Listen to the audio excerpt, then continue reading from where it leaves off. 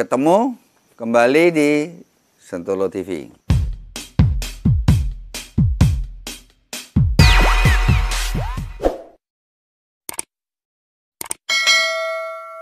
Yaitu channel YouTube yang dimiliki oleh pesantren properti yang mana pesantren properti adalah lembaga edukasi tentang pembelajaran bisnis properti bagi seluruh anak bangsa.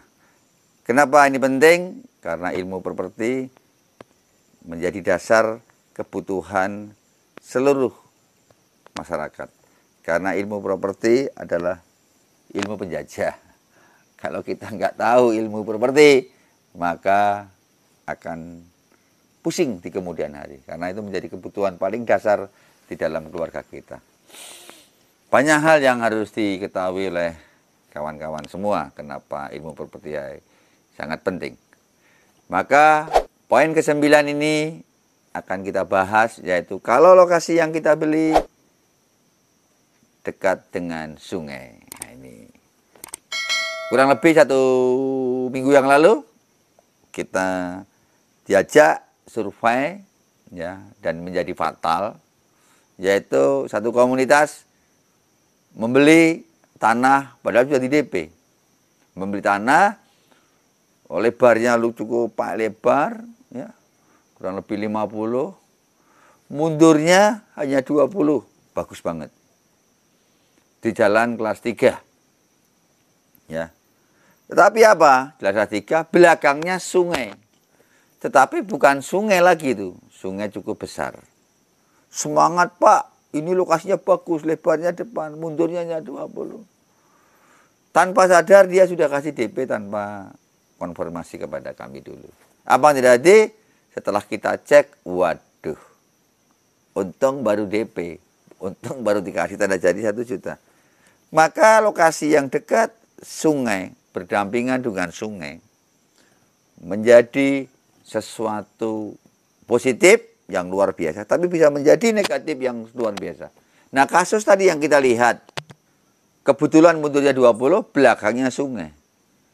Nah, sungai itu pasti punya ROI satu. Dari jalan pasti ada ROI jalan, belakangnya ada sepadan sungai. Sungai yang begitu besar, minimal 10 meter. Apa yang dilakukan? Akhirnya ya lokasi tadi hanya habis kemakan roi jalan, kemakan sepadan sungai. Akhirnya hanya sisa kurang lebih 4-5 meter yang bisa dibangun.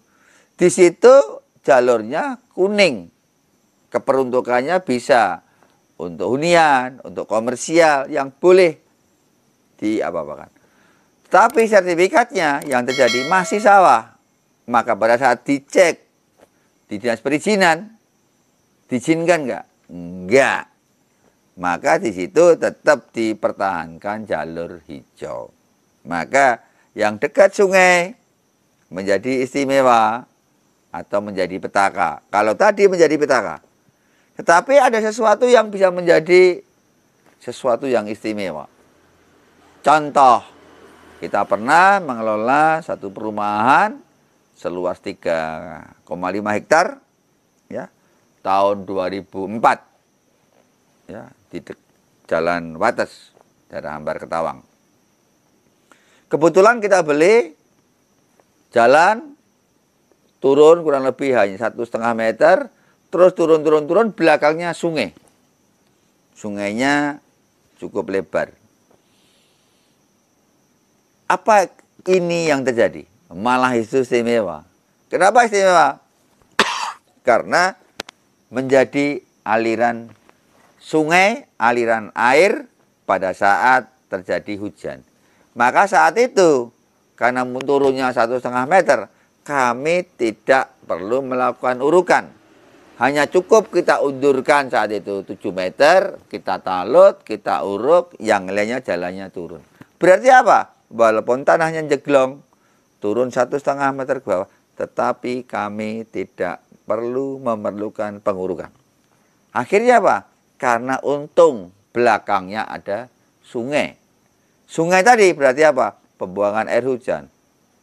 Ya, bisa lancar dan akhirnya kita ada penghematan yang luar biasa karena adanya sungai. Tetapi menjadi sungai kalau itu posisinya di depan, jalan sungai, jalannya itu tanahnya turun satu setengah meter. Nah, ini yang jadi problem. Berarti apa? Otomatis harus nguruk. Kenapa harus nguruk? Karena tanah belakang mau tidak mau harus dari belakang harus lebih tinggi. Menunggu apa? Supaya air hujan alirannya ke ke depan. Mau tidak mau konsekuensi. Kalau sungainya di depan pasti memerlukan pengurukan yang cukup banyak. Sesuai dengan ketinggian sungai. Karena otomatis tanah tadi yang kita beli pastinya harus di atas sungai. Namun kalau bagaimana? Kalau sungainya di samping tanah kita. Maka kalau di samping akan menjadi bagus ya. Menjadi juga istimewa. Hanya yang diperlukan adalah bagaimana perizinan nanti dari sungai, terus sepadan sungainya itu berapa? Itu cukup pertimbangan itu. Yang harus dipertimbangkan luar biasa. Seperti kasus lagi, kita punya lokasi yang pesantren kita, pesantren properti yang ada di Dusun Ploso, Bangun Cipto, Sentul, Jakarta. Itu kita beli saat itu hanya 60 ribu per meter tahun 2012 akhir. Dulu beli hanya sangat murah lah di bawah 100 ribu. Sangat luas plus bisa 2 hektar. Apa yang terjadi? Sangat murah sekali karena tempuannya sudah nggak karu-karuan. Sam tidak di sebelahnya sungai kelas 1 yang perizinannya harus provinsi. Kalau membangun harus minimal itu 30 sampai 50 meter dari sepadan sungai. Nah ini, tapi dari titik nolnya, titiknya paling rendah sampai jalan kurang lebih hampir 35 meter. Nah itulah kayak jurang-jurang, tapi kita mampu mengolahnya, akhirnya menjadi kawasan yang cukup baik. Karena apa? Sungainya itu di samping, kita masuk juga di sampingnya. Nah ini tidak terlalu, malah justru menjadi sangat istimewa karena kebetulan sungai tadi bentuknya adalah L. Pada saat L posisi ini, ini menjadi view yang luar biasa. Menjadi sesuatu yang menjadi indah. Sesuatu dekat sungai, cenderung tanahnya murah. Tetapi kalau kita pandai mengolah, justru menjadi suatu keistimewaan. Contoh yang lain, kebetulan kita punya lokasi, juga sama ini. Di Jalan Monjali, kurang lebih hanya 2 kilo dari dari Tugu Jogja. Depannya kecil, belakangnya sungai, sungai Codi itu. Lebar sungai belakang 80 meter. Turun X-nya dari titik nolnya turun-turun-turun, datar terus turun kurang lebih titik nolnya itu kurang lebih hampir 16 meter. Tetapi menjadi istimewa juga. Kenapa istimewa? Karena di belakangnya langsung UGM.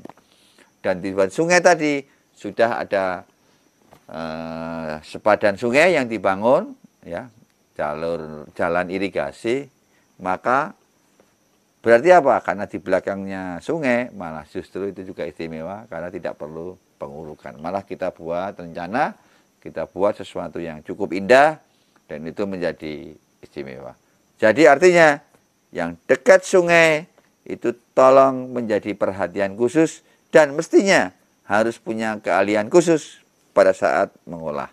Kalau enggak, kebanyakan pengembang salah semuanya yang penting di atas jalan akhirnya pembuangan ya e, untuk pengurukan pengeluaran yang sia-sia itu terjadi. Maka juga harus dipertimbangkan juga yang dekat sungai bagaimana membuat set plan-nya itu menjadi perhatian yang sangat khusus. Demikian penjelasan yang lokasi dengan yang dekat dengan sungai. Matur ketemu di sesi berikutnya.